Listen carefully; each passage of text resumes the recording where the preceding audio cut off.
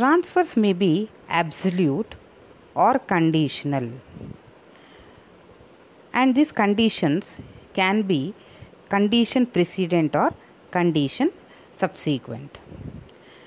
Conditional transfer means transfer to which conditions are attached.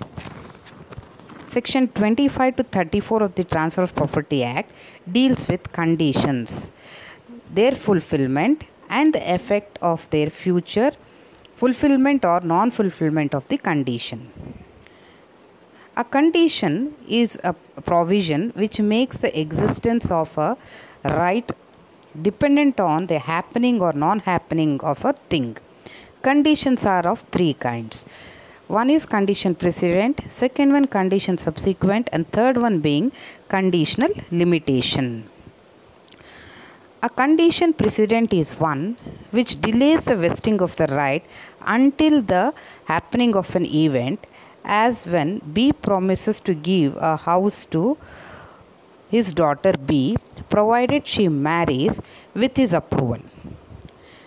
A condition subsequent, also called as condition of defeasance, is one which destroys or divests a right upon the happening of an event, as when A gives a house to his daughter B with the condition that if she marries a person whom he does not approve, the house would revert back to A. This is condition subsequent. That means the property is already vested with the condition that if she if the person doesn't fill transfer doesn't fulfill the condition subsequent, then the rights which are already vested will be divested and will be reverted back to the transferor. This is condition subsequent.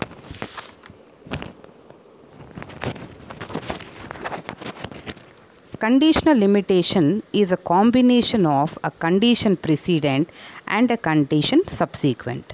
It is one containing a condition which divests an estate that has vested and vests it in another person. As regards the prior interest, it is condition subsequent, but as regards the ulterior interest, it is condition precedent. This would happen when, for instance, A gives a house to, to his daughter B with a condition that if she marries a person without his approval, the house would go to his son C. Here, as far as B is concerned, it is condition subsequent, but as far as C is concerned, it is condition precedent. So, in this conditional limitation, we can see both uh, conditions, condition subsequent as well as condition precedent being a part and parcel of conditional limitation.